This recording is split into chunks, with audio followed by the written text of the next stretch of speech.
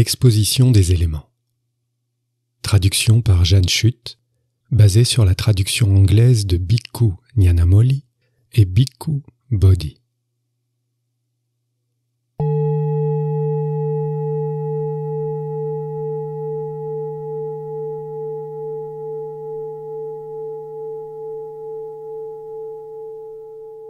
Ainsi ai-je entendu. Il arriva un jour que le Bouddha marchait dans la région de Magadan et finit par atteindre la cité de Rajagaha.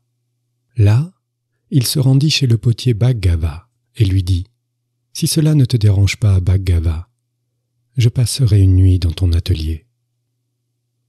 Cela ne me dérange pas, vénérable, mais il y a déjà un ascète errant qui s'y trouve. S'il est d'accord, restez autant que vous le voudrez, vénérable.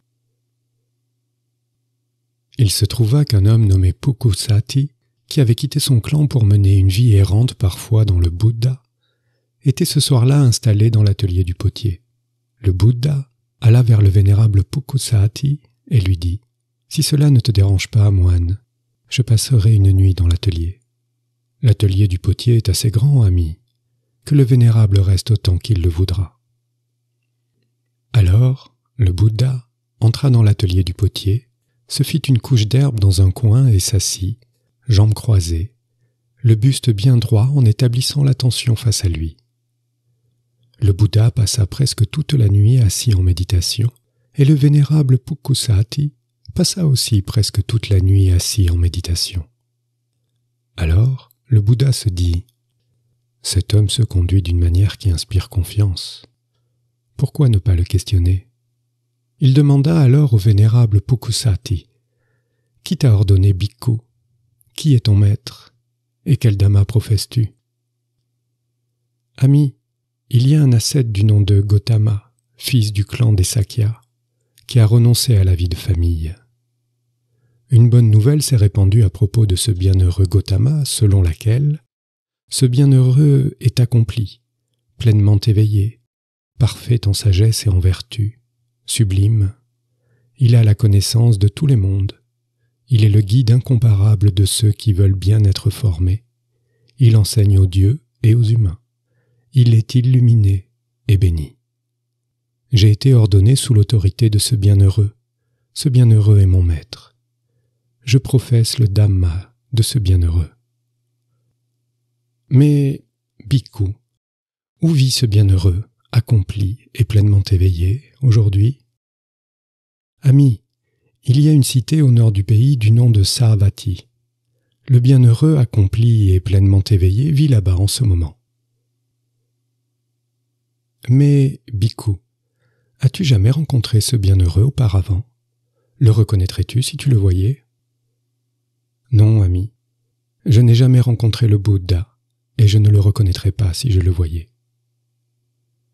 Alors le Bouddha se dit Cet homme de bonne famille a quitté son clan pour mener une vie errante, parfois en moi. Pourquoi ne lui enseignerais-je pas le Dhamma? Alors le Bouddha s'adressa au vénérable Pukusati en ces termes Bhikkhu, je vais t'enseigner le Dhamma. Écoute et accorde toute ton attention à ce que je vais dire. Oui, ami, répondit le vénérable Pukusati. Alors le Bouddha dit Bhikkhu, cette personne se compose de six éléments, six bases de contact et dix-huit sortes d'exploration mentale, et elle a quatre fondations. Les flots de la conception ne submergent pas celui qui s'appuie sur ces fondations, et quand les flots de la conception ne le submergent plus, on l'appelle un sage en paix. On ne doit pas négliger la sagesse, on doit préserver la vérité, cultiver le renoncement et s'entraîner à la paix. Tel est le résumé de l'exposition des six éléments. Il a été dit, Bhikkhu, cette personne se compose de six éléments. En référence à quoi cela a-t-il été dit? Il y a l'élément terre, l'élément eau, l'élément feu, l'élément air, l'élément espace et l'élément conscience. C'est donc en référence à cela qu'il a été dit Bhikkhu, cette personne se compose de six éléments. Il a été dit Bhikkhu, cette personne se compose de six bases de contact. En référence à quoi cela a-t-il été dit? Il y a la base du contact avec les yeux, la base du contact avec les oreilles, la base du contact avec le nez, la base du contact avec la langue, la base du contact avec le corps et la base du contact avec le mental. C'est donc en référence à cela qu'il a été dit Bhikkhu, cette personne se compose de six bases de contact. Il a été dit Bhikkhu, cette personne se compose de dix-huit sortes d'exploration mentale. En référence à quoi cela a-t-il été dit? Quand on voit une forme avec les yeux, on explore une forme qui va donner de la joie, on explore une forme qui va donner de la peine, on explore une forme qui va laisser neutre. Quand on entend un son avec les oreilles, on explore un son qui va donner de la joie, on explore un son qui va donner de la peine, on explore un son qui va laisser neutre. Quand on sent une odeur avec le nez, on explore une odeur qui va donner de la joie, on explore une odeur qui va donner de la peine, on explore une odeur qui va laisser neutre. Quand on goûte une saveur avec la langue, on explore une saveur qui va donner de la joie. On explore une saveur qui va donner de la peine. On explore une saveur qui va laisser neutre. Quand on touche quelque chose avec le corps, on explore un objet tactile qui va donner de la joie. On explore un objet tactile qui va donner de la peine. On explore un objet tactile qui va laisser neutre. Quand on a connaissance de quelque chose avec le mental, on explore un objet mental qui va donner de la joie, on explore un objet mental qui va donner de la peine, on explore un objet mental qui va laisser neutre. C'est donc en référence à cela qu'il a été dit Bhikkhu. Cette personne se compose de 18 sortes d'exploration mentale. Il a été dit Bhikkhu. Cette personne a quatre fondements. En référence à quoi cela a-t-il été dit? Il y a le fondement de la sagesse, le fondement de la vérité, le fondement du renoncement et le fondement de la paix. C'est donc en référence à cela qu'il a été dit Bhikkhu, cette personne a quatre fondements. Il a été dit On ne doit pas négliger la sagesse, on doit préserver la vérité, cultiver le renoncement et s'entraîner à la paix. En référence à quoi cela a-t-il été dit? Comment, Bhikkhu, ne pas négliger la sagesse? Il y a ces six éléments l'élément terre, l'élément eau, l'élément feu, l'élément air, l'élément espace et l'élément conscience. Bhikkhu, qu'est-ce que l'élémentaire? L'élémentaire peut être soit interne, soit externe. Qu'est-ce que l'élémentaire interne?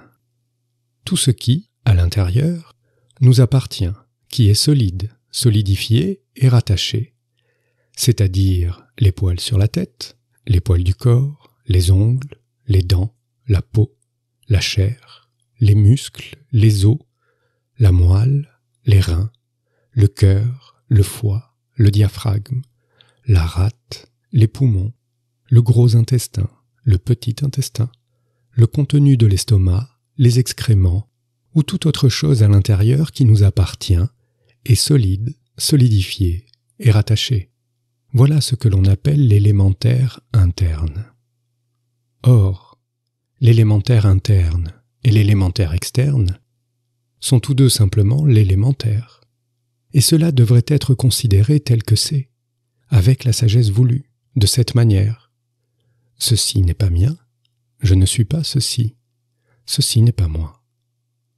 Quand on le voit ainsi, tel que c'est, avec la sagesse voulue, on devient désenchanté par l'élémentaire et l'esprit devient détaché par rapport à l'élémentaire.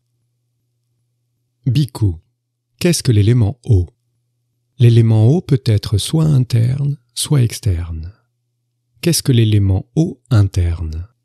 Tout ce qui, à l'intérieur, nous appartient, qui est liquide, liquéfié et rattaché, c'est-à-dire la bile, les mucosités, le pu, le sang, la sueur, le gras, les larmes, la graisse, la salive, la morve, la synovie, l'urine ou toute autre chose à l'intérieur qui nous appartient, est liquide, liquéfié et rattaché.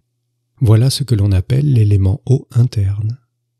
Or, l'élément eau interne et l'élément eau externe sont tous deux simplement l'élément eau. Et cela devrait être considéré tel que c'est, avec la sagesse voulue, de cette manière. Ceci n'est pas mien. Je ne suis pas ceci. Ceci n'est pas moi.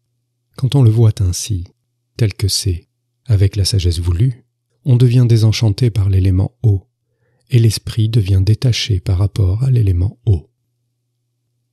Bhikkhu. Qu'est-ce que l'élément feu? L'élément feu peut être soit interne, soit externe. Qu'est-ce que l'élément feu interne?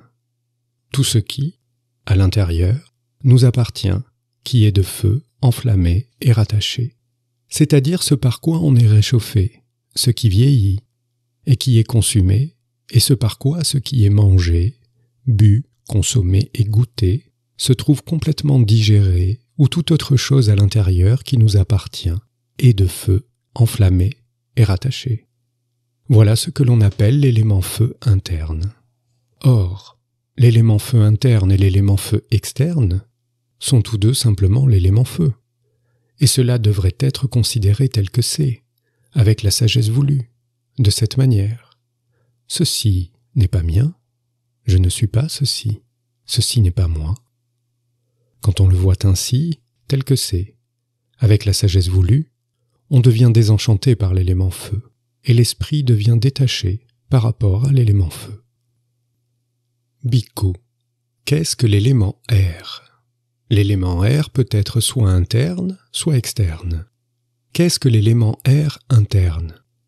Tout ce qui, à l'intérieur, nous appartient, qui est air, aéré et rattaché c'est-à-dire les vents ascendants, les vents descendants, les vents du ventre, les vents des intestins, les vents qui circulent dans les membres, l'air inspiré, l'air expiré, ou toute autre chose à l'intérieur qui nous appartient, et air, aéré et rattaché.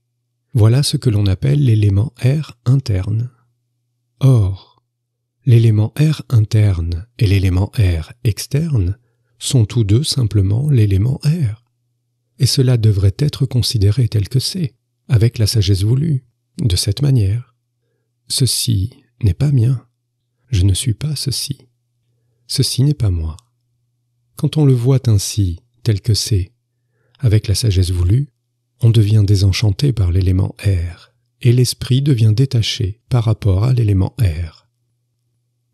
Bhikkhu, qu'est-ce que l'élément espace? L'élément espace peut être soit interne, soit externe. Qu'est-ce que l'élément espace interne?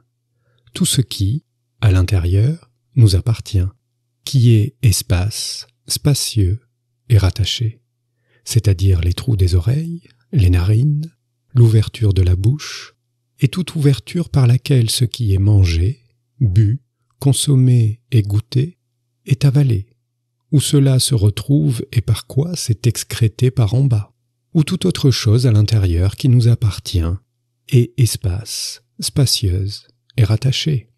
Voilà ce que l'on appelle l'élément espace interne. Or, l'élément espace interne et l'élément espace externe sont tous deux simplement l'élément espace. Et cela devrait être considéré tel que c'est, avec la sagesse voulue, de cette manière. Ceci n'est pas mien. Je ne suis pas ceci.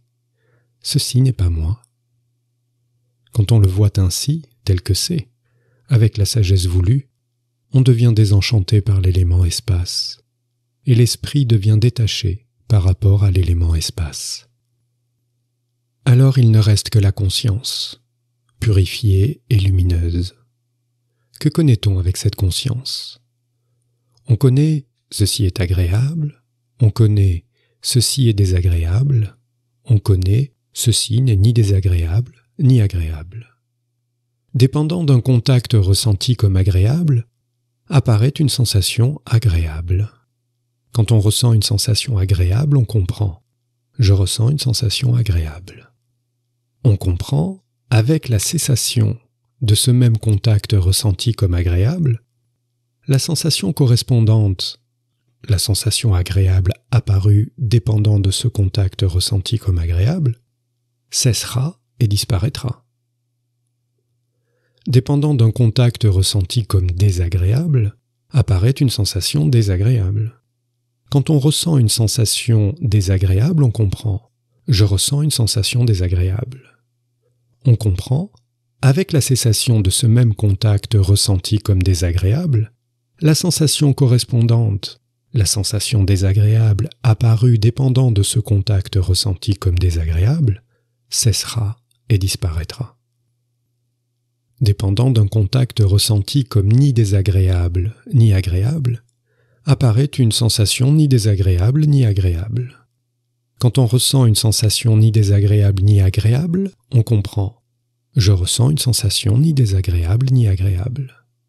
On comprend, avec la cessation de ce même contact ressenti comme ni désagréable ni agréable, la sensation correspondante, la sensation ni désagréable ni agréable, apparue, dépendant de ce contact ressenti comme ni désagréable ni agréable, cessera et disparaîtra. Biku. Tout comme le contact et le frottement de deux bouts de bois engendrent de la chaleur et produit du feu, et lorsque les deux bouts de bois sont séparés et éloignés, la chaleur correspondante cesse et disparaît. De la même manière, dépendant d'un contact ressenti comme agréable, apparaît une sensation agréable. Quand on ressent une sensation agréable, on comprend je ressens une sensation agréable. On comprend avec la cessation de ce même contact ressenti comme agréable, la sensation correspondante, la sensation agréable apparue dépendant de ce contact ressenti comme agréable, cessera et disparaîtra. Dépendant d'un contact ressenti comme désagréable, apparaît une sensation désagréable. Quand on ressent une sensation désagréable, on comprend je ressens une sensation désagréable. On comprend avec la cessation de ce même contact ressenti comme désagréable, la sensation correspondante, la sensation désagréable apparue, dépendant de ce contact ressenti comme désagréable, cessera et disparaîtra. Dépendant d'un contact ressenti comme ni désagréable ni agréable, apparaît une sensation ni désagréable ni agréable. Quand on ressent une sensation ni désagréable ni agréable, on comprend je ressens une sensation ni désagréable ni agréable. On comprend, avec la cessation de ce même contact ressenti comme ni désagréable ni agréable, la sensation correspondante, la sensation ni désagréable ni agréable, apparue dépendant de ce contact ressenti comme ni désagréable ni agréable, cessera et disparaîtra. Il ne reste alors que l'équanimité, purifiée et lumineuse, malléable, souple et rayonnante.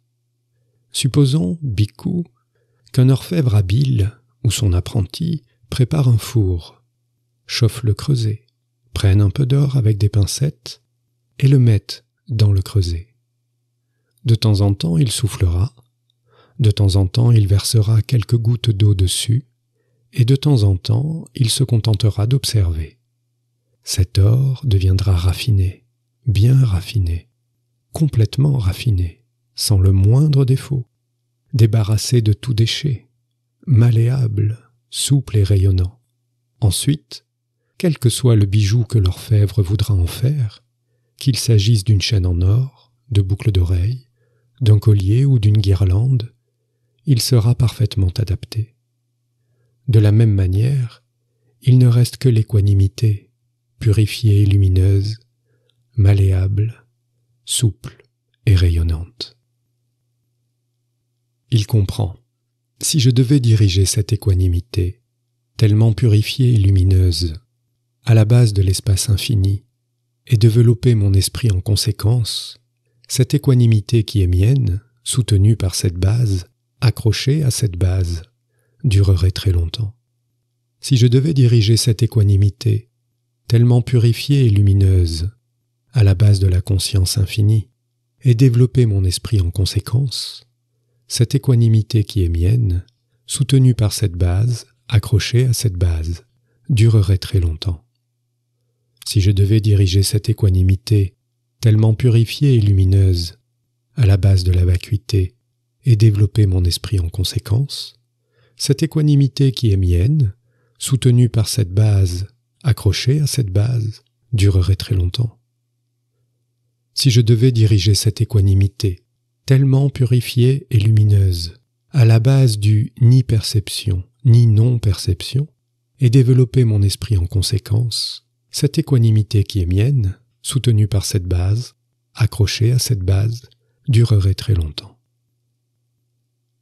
Il comprend, si je devais diriger cette équanimité, tellement purifiée et lumineuse, à la base de l'espace infini, et développer mon esprit en conséquence, celui-ci serait conditionné.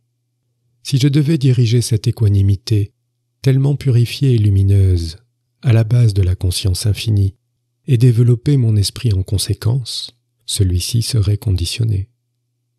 Si je devais diriger cette équanimité, tellement purifiée et lumineuse, à la base de la vacuité, et développer mon esprit en conséquence, celui-ci serait conditionné. Si je devais diriger cette équanimité, tellement purifiée et lumineuse, à la base du ni perception, ni non-perception, et développer mon esprit en conséquence, celui-ci serait conditionné. Il ne crée aucune condition, ni ne génère aucune volition, tendant soit à l'être, soit au non-être. Comme il ne crée aucune condition et ne génère aucune volition, tendant soit à l'être, soit au non-être, il ne s'accroche à rien dans ce monde. Quand il ne s'accroche pas, il n'est pas agité. Quand il n'est pas agité, il atteint le nibbana personnellement. Il comprend, la naissance est détruite, la vie sainte a été vécue, ce qui devait être fait a été fait, il n'y aura plus de retour à aucun état d'existence. S'il éprouve une sensation agréable, il comprend, c'est impermanent. Il n'y a rien là dont on puisse se saisir. Il n'y a là aucun plaisir. S'il éprouve une sensation désagréable, il comprend, c'est impermanent. Il n'y a rien là dont on puisse se saisir. Il n'y a là aucun plaisir.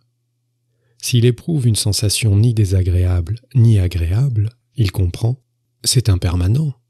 Il n'y a rien là dont on puisse se saisir. Il n'y a là aucun plaisir. S'il éprouve une sensation agréable, il s'en sent détaché. S'il éprouve une sensation désagréable, il s'en sent détaché.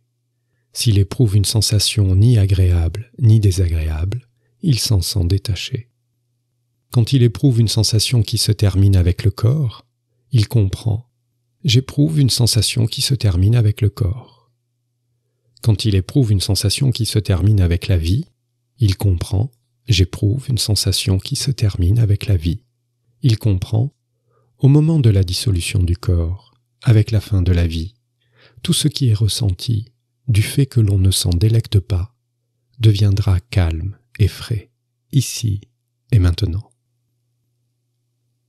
Bhikkhu, tout comme une lampe à pétrole brûle, dépendant du pétrole et de la mèche, et quand le pétrole et la mèche sont épuisés, si elle n'est plus alimentée, elle s'éteint par manque de carburant. De la même manière, quand il éprouve une sensation qui se termine avec le corps, il comprend J'éprouve une sensation qui se termine avec le corps. Quand il éprouve une sensation qui se termine avec la vie, il comprend J'éprouve une sensation qui se termine avec la vie. Il comprend Au moment de la dissolution du corps avec la fin de la vie, tout ce qui est ressenti, du fait que l'on ne s'en délecte pas, deviendra calme et frais, ici et maintenant. En conséquence, un bhikkhu qui possède cette sagesse possède le fondement suprême de la sagesse. Car ceci, bhikkhu, est la noble sagesse suprême, en d'autres termes, la connaissance de la destruction de toute souffrance. Sa libération étant basée sur la vérité, elle est inébranlable, car, bhikkhu, est faux ce qui est de nature trompeuse, et est vrai ce qui n'est pas de nature trompeuse, le nibbana. En conséquence, un bhikkhu possédant cette vérité possède le fondement suprême de la vérité, car ceci, bhikkhu, est la noble vérité suprême, en d'autres termes, le nibbana dont la nature n'est pas trompeuse. Auparavant, quand il était dans l'ignorance, il a acquis et développé des attachements. À présent, il les a abandonnés. Coupés à la racine comme une souche de palmier, il en a fini avec eux au point qu'ils ne pourront plus réapparaître à l'avenir. En conséquence, un bhikkhu qui possède ce renoncement possède le fondement suprême du renoncement. Car ceci, bhikkhu, est le noble renoncement suprême, en d'autres termes, le renoncement à tous les attachements. Auparavant, quand il était dans l'ignorance, il a fait l'expérience de la cupidité, du désir et de l'avidité. À présent, il les a abandonnés, coupés à la racine comme une souche de palmier, il en a fini avec eux au point qu'ils ne pourront plus réapparaître à l'avenir. Auparavant, quand il était dans l'ignorance, il a fait l'expérience de la colère, de la mauvaise volonté et de la haine. À présent, il les a abandonnés, coupés à la racine comme une souche de palmier, il en a fini avec elles au point qu'elles ne pourront plus réapparaître à l'avenir. Auparavant, quand il était dans l'ignorance, il a fait l'expérience de la non-connaissance et de la conception erronée des choses. À présent, il les a abandonnées, coupées à la racine comme une souche de palmier, il en a fini avec elles au point qu'elles ne pourront plus réapparaître à l'avenir.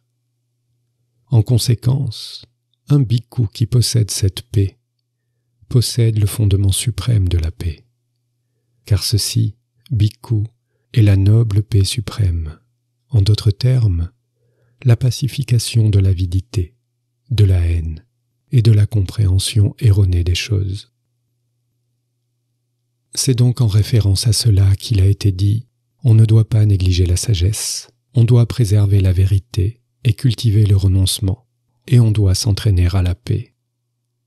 Il a été dit Les flots de la conception ne submergent pas celui qui s'appuie sur ses fondations, et quand les flots de la conception ne le submergent plus, on l'appelle un sage en paix. En référence à quoi cela a-t-il été dit? Bhikkhu, je suis est une conception. Je suis cela est une conception. Je serai est une conception. Je ne serai pas est une conception. J'aurai une forme est une conception. Je n'aurai pas de forme est une conception. Je pourrai percevoir est une conception. Je ne pourrai pas percevoir est une conception. Je ne pourrai ni percevoir ni ne pas percevoir est une conception. Concevoir est une maladie. Concevoir est une tumeur. Concevoir est une flèche. Quand on a vaincu toutes les conceptions, bhikkhu, on est appelé un sage en paix. Et le sage en paix n'est pas né, il ne vieillit pas, il ne meurt pas, il n'est pas ébranlé et il n'est pas agité, car il n'y a rien en lui par quoi il pourrait naître. N'étant pas né, comment pourrait-il vieillir? Ne vieillissant pas, comment pourrait-il mourir? Ne mourant pas, comment pourrait-il être ébranlé? N'étant pas ébranlé, pourquoi serait-il agité? C'est donc en référence à ceci qu'il a été dit Les flots de la conception ne submergent pas celui qui s'appuie sur ses fondations, et quand les flots de la conception ne le submergent plus, on l'appelle un sage en paix. Bhikkhu, garde en esprit ce bref exposé des six éléments. Là-dessus, le vénérable Pukusati se dit En vérité, le Maître est venu à moi, le Bouddha sublime est venu à moi. Le parfaitement éveillé est venu à moi. Il se leva alors de son siège, ajusta sa robe sur son épaule, et se prosternant, il posa la tête sur les pieds du Bouddha, en disant Vénérable maître, j'ai commis une faute lorsque, comme un idiot confus et bafouillant, j'ai osé m'adresser au Bouddha en lui disant Ami. Vénérable maître, puisse le Bouddha pardonner ma faute, considérée comme telle, pour plus de retenue dans le futur. De fait, Bhikkhu, tu as commis une faute lorsque, comme un idiot confus et bafouillant, tu as osé t'adresser à moi en me disant Ami.